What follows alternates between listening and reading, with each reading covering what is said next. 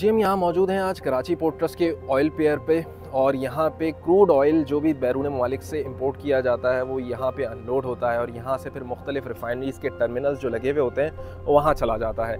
आज यहाँ होने की ख़ास बात यह है कि रशिया से जो पाकिस्तान का माहा हुआ है, क्रूड ऑयल का उसका ये पहला समर है। मतलब ये पहली कंसाइनमेंट है रशिया से, जो कि दो हिस्सों पर मुश्तमिल है। आज हमारे पास ये जो प्योर पॉइंट जहाज़ है हमारे अकब में इसमें तकरीबन पैंतालीस हज़ार मेट्रिक टन क्रूड ऑयल है और बाकी जो पचपन हज़ार मेट्रिक टन क्रूड ऑयल है, वो भी कुछ दिनों में मुतव है। पहला रशिया से ओमान पे इसका स्टॉप ओवर हुआ और ओमान से फिर दो जहाज़ों पर मुश्तमिल जो टोटल तकरीबन एक लाख मेट्रिक टन की जो कंसाइनमेंट है क्रूड ऑयल की वो आ, उसका पहला हिस्सा यहाँ आ चुका है ओमान से।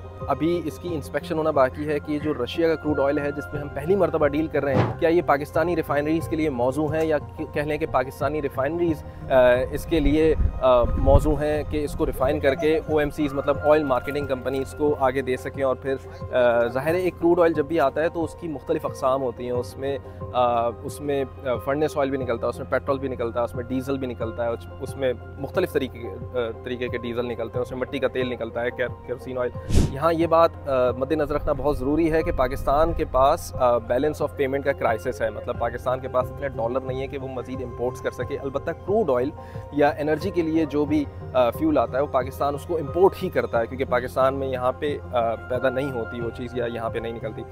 तो इस सूरत में पाकिस्तान को ये इंतहाई ज़रूरी है, नागजीर है कि वो चीज़ें इम्पोर्ट करे। इन्होंने पहली मरतबा रशिया से डील की है। रशिया से डील करने का मकसद इनको कोई डॉलर में पेमेंट नहीं करनी पड़ेगी।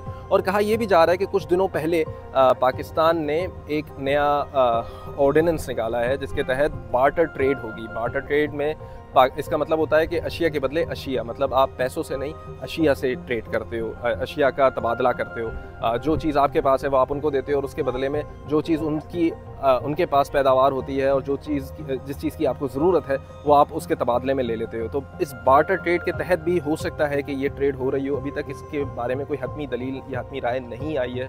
ये भी हो सकता है कि वो चाइनीज़ युआन में हो रही हो, ये भी हो सकता है कि वो रशियन करेंसी में हो रही हो, या बार्टर ट्रेड का माहा ईरान अफ़गानिस्तान और रशिया के माबेन हो चुका है जिसके तहत अशिया के बदले अशिया का तबादला होगा।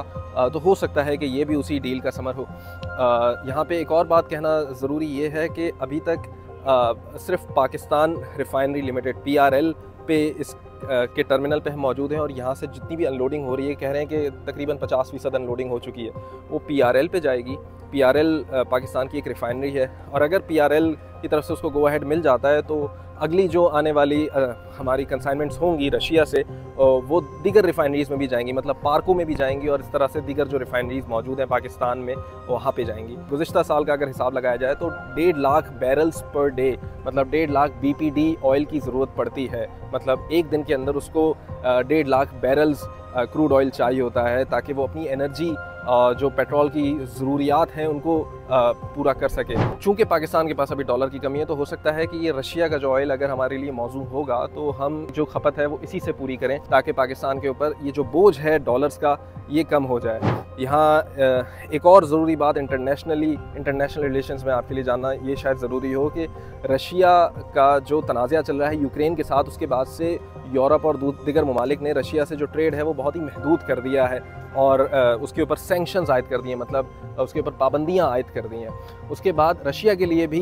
जो मार्केट में पेनिट्रेट करना है वो थोड़ा सा मुश्किल है। तो रशिया के लिए भी पाकिस्तान के साथ ये जो ट्रेड है ये एक तरह से मुफीद साबित होगा क्योंकि रशिया के जो अभी कस्टमर्स हैं, उनमें चाइना और इंडिया तो शामिल हैं, लेकिन पाकिस्तान हमेशा से रिलेक्टेंट रहा है।